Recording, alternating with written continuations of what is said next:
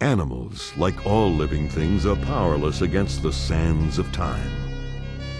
When the sands of time escape their hourglass, they rapidly spread and swirl along the floor.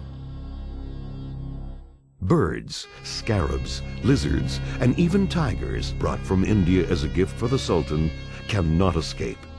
They are engulfed and transformed into horrible sand creatures.